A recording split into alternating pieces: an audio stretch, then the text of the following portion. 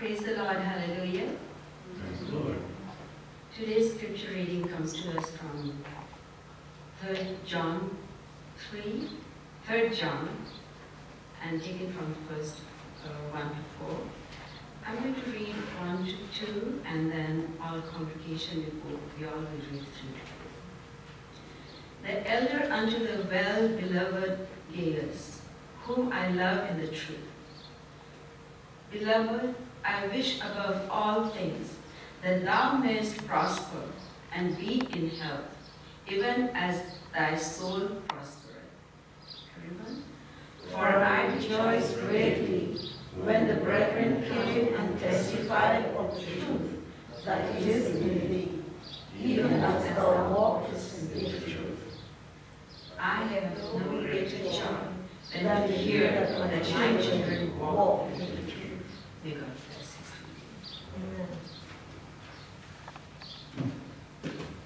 We will sing our theme song, Holy Ground. Let's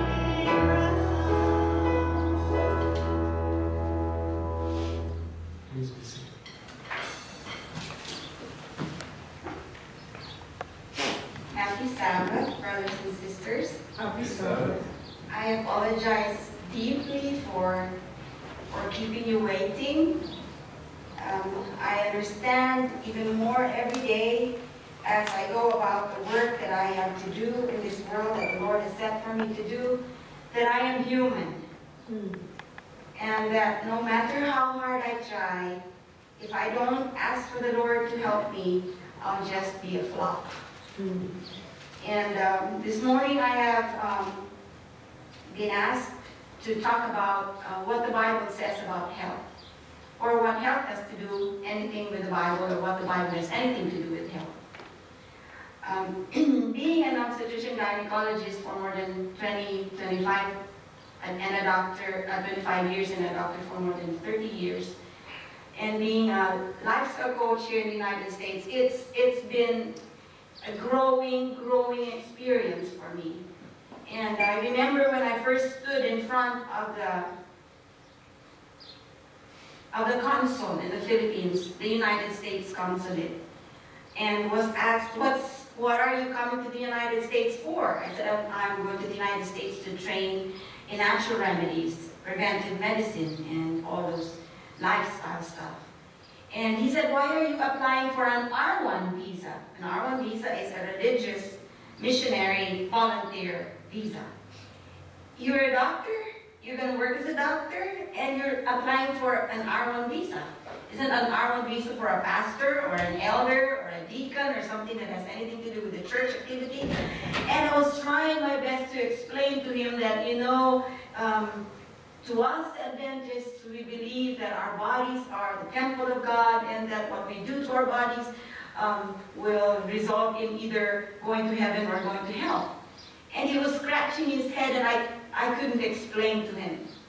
He couldn't see uh, why being a medical missionary would be a religious thing. But as we, as I, I grew and learned, it truly is a religious thing.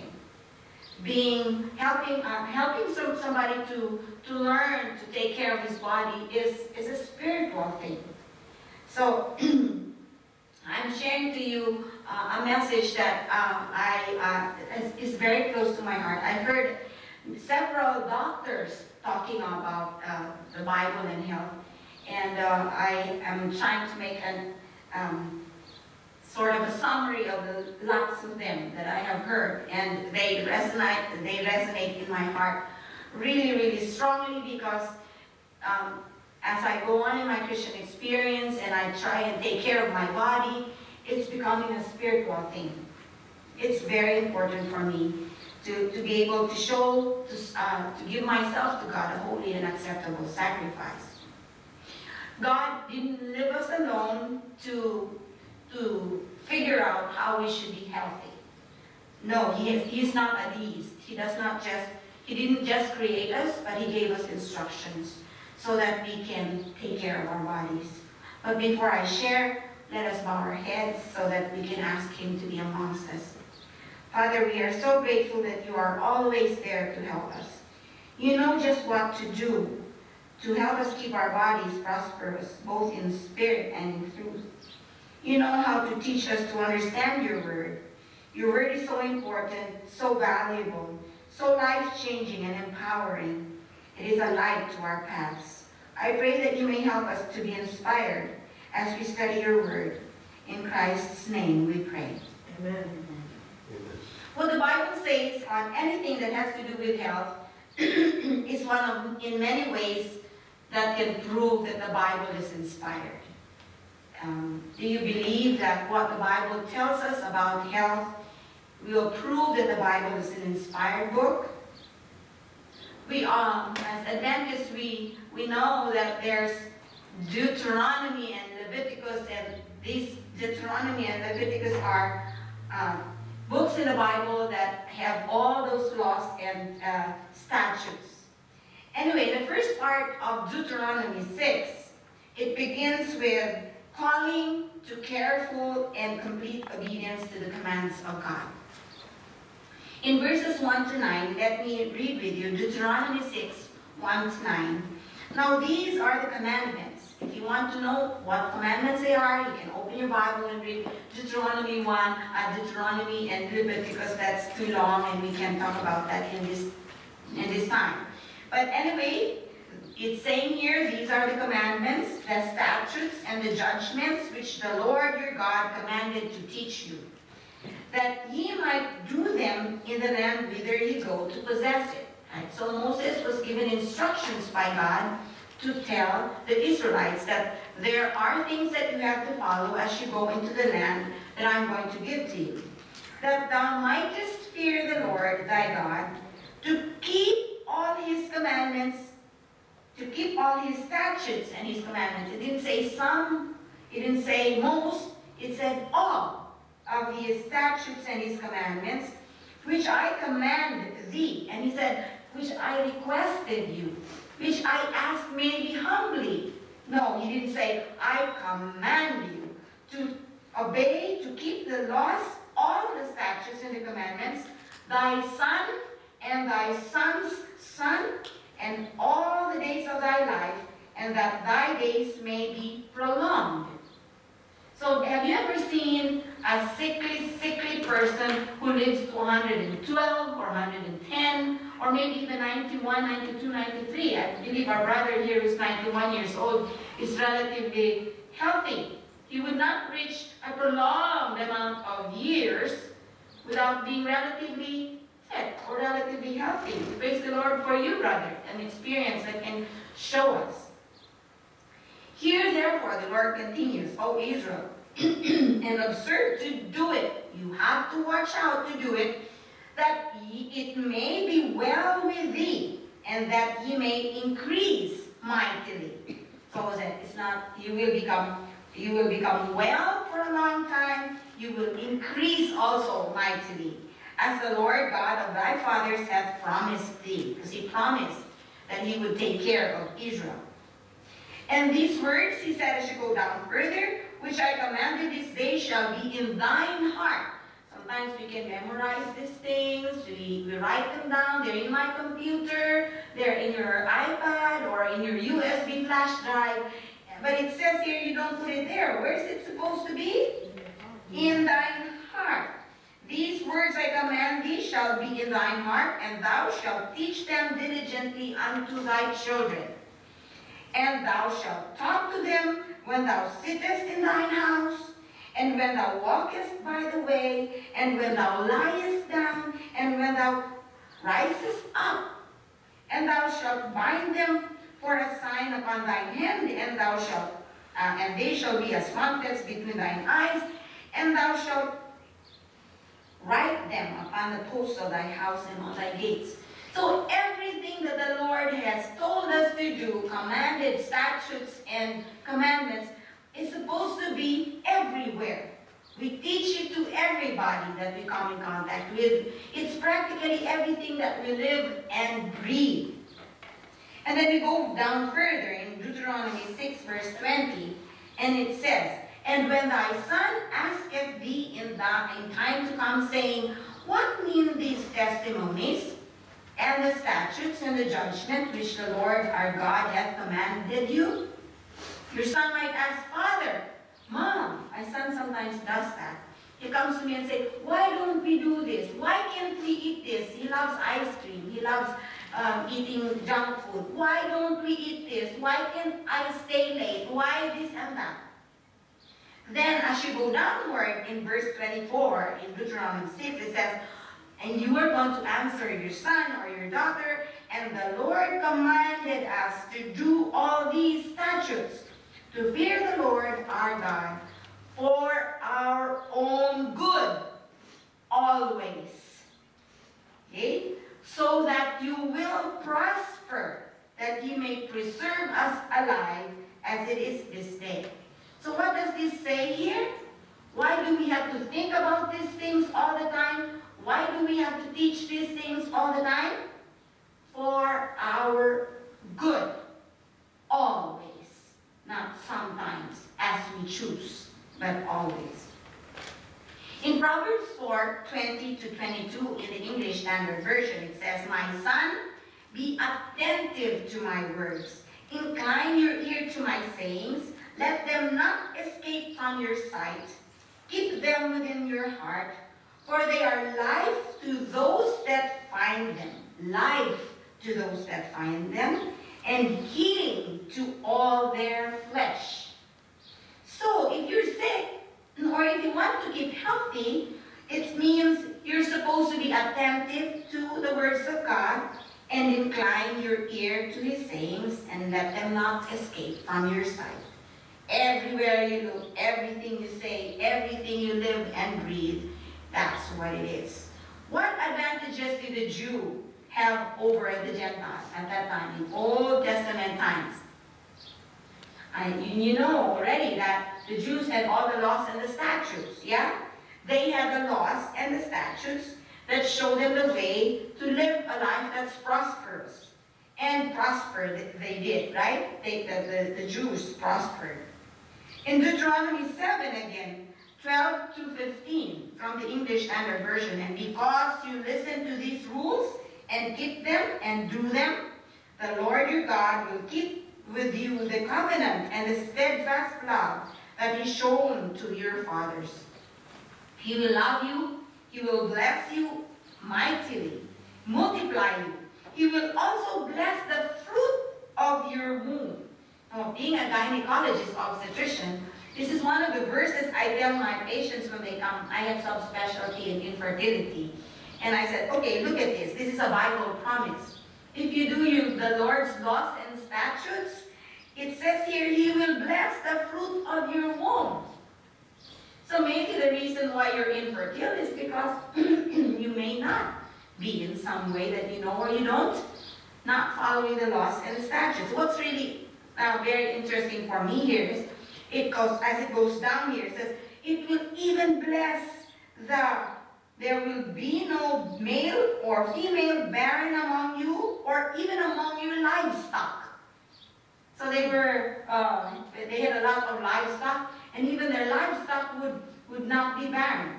In other words, they would become ranchers, rich ranchers in the future, if they would follow the laws and the statutes. And then you ask now, what advantage do Bible-believing Christians have over non-Bible-believing people? Simple. Again, like the Jews. We have the Word and the prophets to follow. We have the Word and the prophets to enjoy. And then we have the Word and the prophets to share. Okay? We grow as we share. We shall go through things and some uh, uh, topics in the Bible, and hopefully we will be able to, to understand these things, digest them, and remember, and be able to share. A father was once asked by a son, why am we, why do you tell me not to do this? Why do you tell me not to eat this? Why can't I go out with my friends? He was teenage, mid-teenage, the time when it's really hard to control children. And it, they start to think on their own and they say, why, Father, can I, can I go out with them? Why can't I have this? Why can't I eat that? Anyway, the father, a father said, um, he said to his son, well, do you remember they were having, they were homeschooled children. Ah, this was a homeschool boy. And the father had just gone through Cambodia. You remember that Cambodia, they have a lot of landmines there? Uh, they, during uh, the time when there was this communist invasion, they had put a lot of landmines around the place. And uh, let's say there are two parents there in Cambodia. One parent says, oh son, I love you so much. You can do anything you want to do. I, I don't want to be restricting you. You can walk anywhere you want to do, anywhere you please, anytime you want to go, you can go. And so this son goes out and goes everywhere, anywhere his heart calls him to go. And unfortunately, he steps on a landmine and he's maimed for life. Or maybe he even dies. That's one family. On the other hand, you have another set of parents which would call, when the son asks them, they would say, come here, let's sit down and talk. And the father opens up a, a map of Cambodia and he, show, uh, he shows him all those really small paths where people can walk. Okay? And the, the son says, why do I have to walk in these little restrictive paths? I want to go everywhere. I want to experience Cambodia to its fullest. The father says, these restrictive paths have been swept of minds. We love you so much that we don't want you to be maimed by the landmines. We love you so much, we want you to live long in this world, and we don't want you to walk beyond these restrictive paths. Is it really restrictive? Is it really restrictive? No. The restrictions are only there for our good always. So it was for the son, restrictive, but for his. In the winter of 1885, in the district of Lower Austria, two sweethearts, 40-year-old divorced, twice married Alois Schicklgruber, and 17-year-old Clara Kossel applied for a marriage license from a parish priest. See, they were, uh, they were going to the priest. There was a problem with their application. You see, they were second cousins. And the Bible forbids marriage between close relatives, right? The Bible says you can't marry a close relative. Yet, they wanted to get married. There were some other problems too. The, the Bible also forbade that marriage be to, uh, this marriage because the marriage of the, of the husband was not because uh, there was, it, the divorce was not from biblical grounds for divorce. And it was also a bad idea, their age was so big, difference, the disparity between their ages. But regardless of God's commands, in, because in this area, it was not restricted to marry close cousins, the priest married them anyway. So they got married, and four years later, they delivered a third child. The child's name was Adolf. His name is Adolf Hitler. Hmm. You see, a parish priest's permission to violate God's instruction brought to the world Adolf Hitler. God had given instructions that would have preserved the world from Adolf Hitler, right? He would not have been born. He, God's instructions would have prevented it. So many great disasters in this world have been brought about because instructions in God's Word have been ignored. Towards the end of 1918, you remember the swine flu or the Spanish flu they call it? In, in during during the towards the end of World War One, when the people were starting to rejoice because it's uh, the, the war had ended, their rejoicing was premature because around this time the swine flu was peaking, and during the World War One, there were eight million deaths, around eight million deaths from the deaths from from the war. But the, the swine flu, there were deaths of 20 to 15 million people who died from the swine flu. And studies have proven, have come to discover that where, uh, they discovered where the swine flu started. It started in China, where people lived with their hogs. In the same house, in one house, the swine and the people lived together. And so the swine flu, it jumps from the swine to humans, okay? There's this interspecies thing. So swine flu started there in China where people were living with the swine, with pigs, okay? And if they had only obeyed that the swine is unclean, you don't even go, you don't even touch it. You know, in China, and during the older times, uh, pigs were treasured. It was something like, something, uh, the more pigs you had in your house, the, the richer you were, the higher people looked up to you as somebody in the, in the place.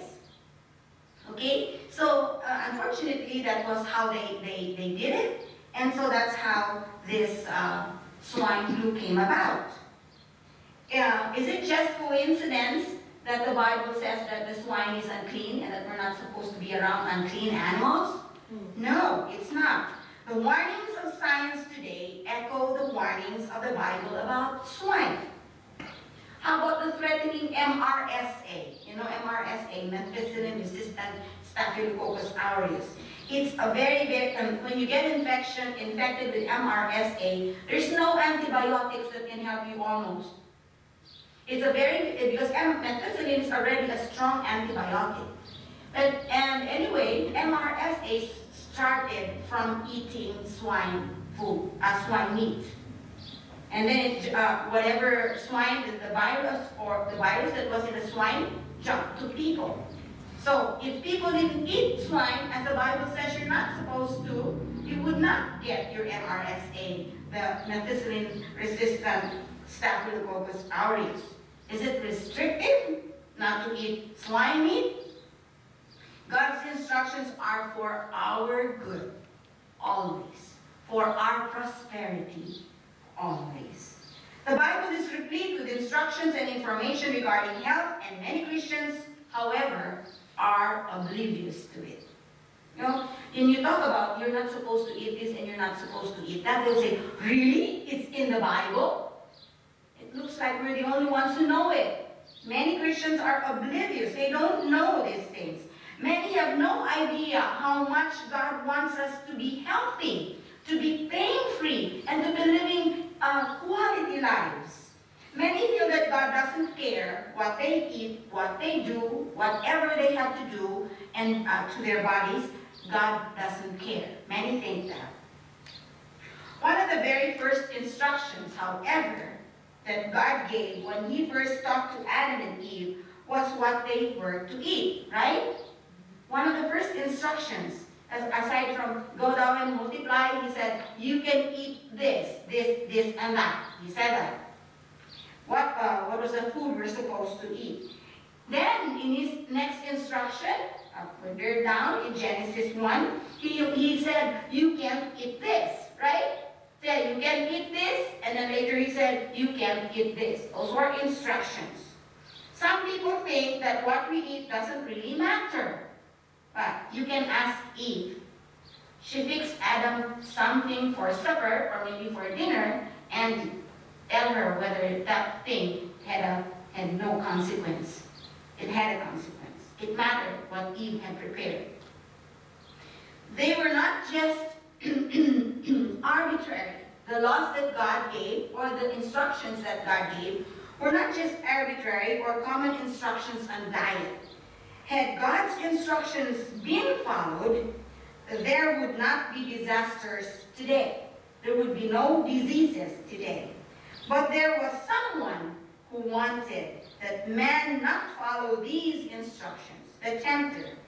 He tempted us, he tempted Adam and Eve to be disobedient, and thus now comes the weight of pain and death. But God still wants men to be healthy, right? God still wants men to be happy. So he gives some more instructions. First to Adam after the fall, then to Noah after the flood. He again gave instructions on diet, but his instructions again were ignored. Okay, you remember even that Noah became a drunk, right? He became a drunk. He didn't follow.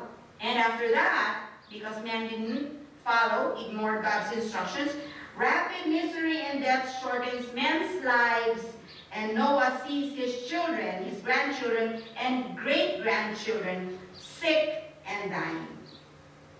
He lived longer than any of them. Noah did live longer than them. He died actually one to two years before Abraham was born. By the time we, we get to Moses, lifespan had shrunken from almost a thousand years to just about 70, 80 to 120 years. To preserve the life of the Israelites in the wilderness, God controlled their diet and gave details of a healthy lifestyle to Moses. His instructions not only covered diet, actually, so ah, you're reading that one, it's only, you, you don't know what you're talking about, it's only Leviticus 12, and that's nailed to the cross. But he gave other diet, other guidelines too for a healthy lifestyle. His instructions not only covered diet, but also covered topics such as cleanliness and public sanitation. God's instructions, when followed, were so effective that after 40 years of wandering in the wilderness, there was not one person in the camp of Israelites, feeble among the tribes. Parents were to teach their children and grandchildren everything. Walking, sitting, laying down, standing up every time for their good always, for their prosperity. When individuals and nations follow God's instructions, you remember that when they would follow, they would be prosperous. When they didn't follow, they would be they would be captive. So it was a swing of following and not following, following and not following. And it is very interesting because archaeologists have found out that in their digging, that around the time when Israel was their most obedient, when they were most obedient for years and years, they were following the laws and statutes. The archaeologists noted that the people around them the, the Gentile people around Israel, they, they were not so much in contact with, with unclean animals. That means that once you are prosperous, you will be a light to the people around you. So they'll say, why are you not eating this? Why are you this and that? do you know the blue zones thing, right? You know the blue zones? There's several, there are zones in the whole world where you have healthy people. And one zone is Loma Linda, and it is the Seventh-day Adventists that are in Loma Linda that are the longest lived in the world. One of the many long and many areas, and Loma Linda is one of them. It is a shining light for us, for our own good, so that we can prosper and be a light to the people around us, that they may know upon um, that, that thy way, O God, may be known upon the earth, thy saving health among the nations. So we are supposed to be an example. God didn't just say, be an example for what? No, He gave us instructions how to live so that we can be an example, so that we will be a saving help to all the nations. And that's Psalm 67 too. In just 10 days, on a simple diet of fruit, grains, nuts, and vegetables. Remember Daniel, Shadrach, Meshach, and Abednego? Right? It is not just by chance they had followed. They graduated from the University of Babylon, summa cum laude. It's because of their lifestyle, it's because of their following the laws and statutes. In Proverbs 31, 17, it says even, uh, it's not only to food. If you're going to go through all exhaustively, there's so many things, but I just chose a few. There's also, in Proverbs 31, 17, English Standard Version, she dresses herself with strength and makes her arms strong. Proverbs 31, 17. This implies that there is a type of dressing up that can keep you healthy, right? Yes, the Bible even says in 1 Timothy 2, 9, in like manner also, that women adorn themselves in modest apparel. And then you say, oh, that is for uh, modest apparel, that is, um, that is an issue more of, of morality than it is of health. Maybe it is, but you see the Bible is multifaceted. When you look and read and understand, ask the Spirit to speak to you, to speak to you in more ways than you can ever imagine. So it is really telling us here, too, that if you dress modestly, you will have good circulation in your body, you will be healthy, right? Because life is in the blood.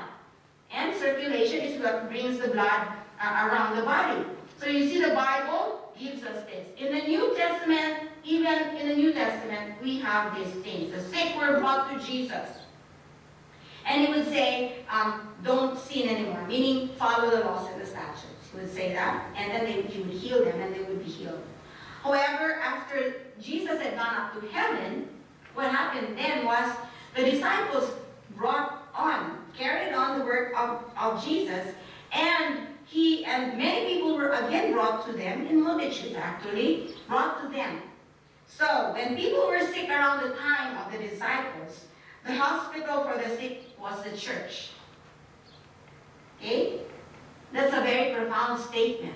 People were brought to Paul. People were brought to Peter and John, where the brethren were together. So they were not brought to an infirmary, they were brought to the church. The place where people worshiped God and loved to follow and obey His word.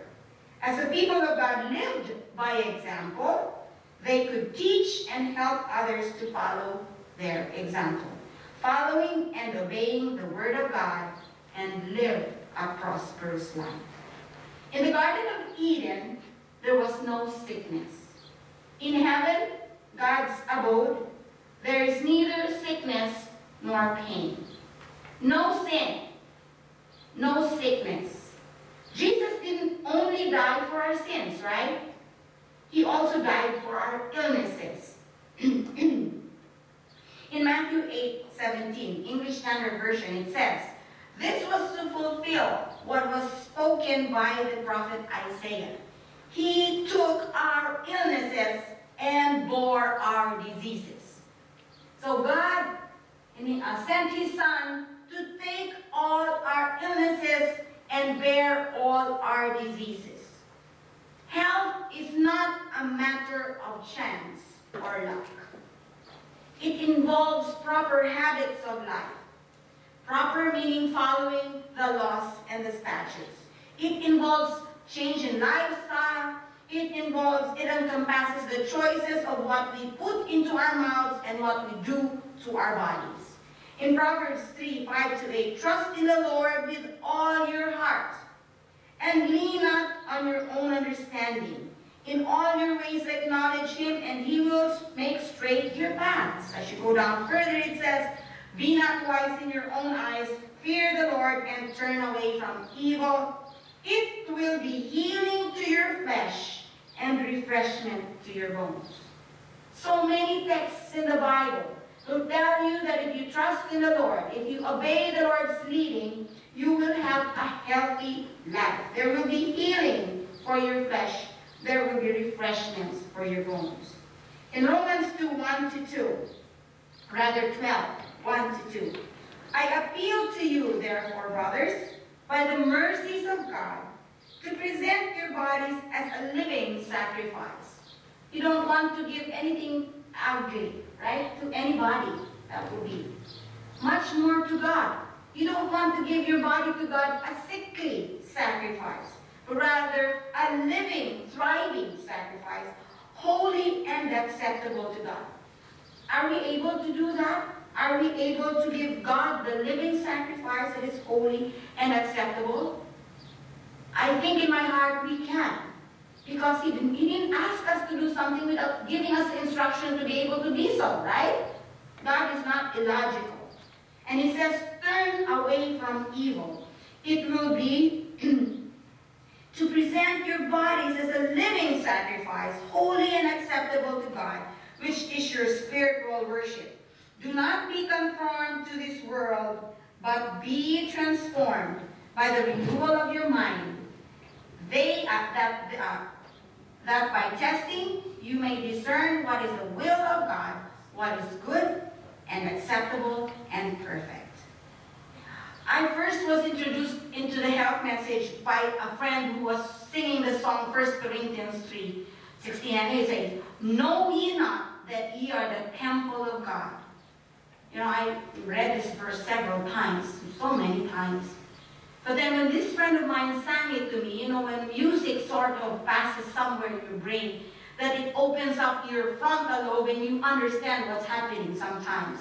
Most of the time, if you're really of sane mind. Says, Know ye not that ye are the temple of God, and that the Spirit of God dwelleth in you? If any man defile the temple of God, him shall God destroy. For the temple of God is holy, which temple ye are. I was thinking, so God is going to destroy me? So God is not love? Anyway, further down, I saw in 1 Corinthians 6, 19 to 20, what? Know ye not that your body is a temple of the Holy Ghost, which is in you, which ye have, ye have of God, and ye are not your own. You're not your own. That's why God is asking of me to follow the laws and statutes. He will punish me because I'm not my own. I don't belong to myself. I belong to him twice. He created me and he died for me. I'm not my own. For ye, have, for ye are bought with a price. Therefore glorify God in your body and in your spirit, which are God's. Saying with a loud voice in Revelation 4, 7, Fear God and give glory to him, for the hour of his judgment is come. Worship him that made heaven and earth, the sea, and the fountains of waters. And in 1 Corinthians 10, 31, it says, Whether therefore ye eat or drink, maybe it's not only, ah, the health laws are only for what you eat and what you drink. But it goes even further. Whatsoever ye do, do all to the glory of God. God loves to see his people healthy and happy. That's why in 3 John 2, uh, 3 John 1 to 4 in our memory verse, read, uh, the text read this morning, it says, Beloved, I wish above all things. It's like God telling us, My beloved children, I wish above all things that you will prosper and be in health. And you know that when you have a sound mind, it is because you have a sound body, right? A sound body begets a sound mind. I can remember very distinctly. When I had taken this, um, you see, I'm an obstet I was an obstetrician gynecologist, and I thought I knew all about birthing and everything. I, and I came to the United States and I took the, the midwifery exam. While I took the exam, I was sick. I had just been diagnosed with Lyme disease. You know what Lyme is? You get bit by a tick and it, it wreaks havoc over your entire body. And I was sick to the bone, and yet, because I thought I was an obstetrician, ah, taking the CPM, the Certified Professional Midwifery Board, would be piece of cake. It was not. It was piece of cement. It was because my mind was not working. I was sick. I didn't have a sound mind because my body was not well. But when the Lord wants us to be uh, well, He says, above all things, all things that thou mayest prosper and be in health, even as my soul, your soul, prospereth. So He cannot separate our body from our soul. When our body prospers, our soul will prosper as well. For I rejoiced greatly when the brethren came and testified of the truth that is in thee, even as thou walkest in the truth. I have no greater joy than to hear that my children walk in the truth. Can you imagine God saying that to us? Because we rejoice in the truth, we can testify of the truth. We all know how profound the effect of a sickly body has on the thinking process. In these last days of Earth's history, when Gog and Magog are going on to the fray, life is not getting any easier. We cannot be fooling ourselves that times will get better. We need clear minds. We need strong bodies to, to have clear minds, to be hearing the still small voice of the Holy Spirit guiding us into proper discernment. The beloved disciple hopes for us all prosperity in body and soul. To me, what really matters is when we are prospering in our souls. That means that we are ready for Him to come anytime. Even as thy soul prospereth. What profiteth us if our souls don't prosper? Beloved, I wish above all things that thou mayest prosper and be in health, even as thy soul prospers. This is my prayer. Amen. Amen. Father in heaven, thank you so much for the blessed home that you are preparing and preparing for each one of us to enjoy.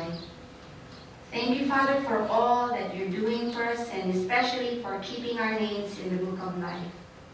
We ask, Father, that we understand the solemnity of the times we live in and how even more important it is to be living the lifestyle of the heavenly mansions that you've been preparing for the righteous. We know that if we continue doing the things that we're not supposed to be doing, we will not enjoy the heavenly mansions. So help us, Father, as we endeavor through the help of the Holy Spirit and the ministering of the holy angels to, li- to live a life approved of you, so that we will be a living sacrifice, wholly acceptable in your sight. For Jesus' sake. Amen.